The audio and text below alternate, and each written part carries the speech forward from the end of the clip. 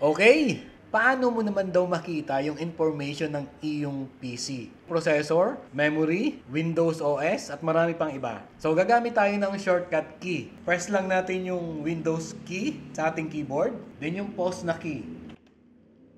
At lumabas sa ating screen yung about ng ating PC. So, andito yung ating device specification, yung device name natin. Andito yung processor natin, i7, 3.2 GHz. Yung ating naka-installed na RAM, 16 GB. Yung device ID natin, yung ating system type, 64-bit operating system. Makikita din natin dito yung ating gamit na Windows operating system, Windows 10 Pro 22H2. Andito rin yung date kung kailan natin na-install at yung OS build natin. Okay? So, pwede rin nating i-rename yung pangalan ng PC natin dito. Gawin natin diet. Next. Restart later. And that's it. Follow my Facebook page and subscribe to my YouTube channel for more tutorials.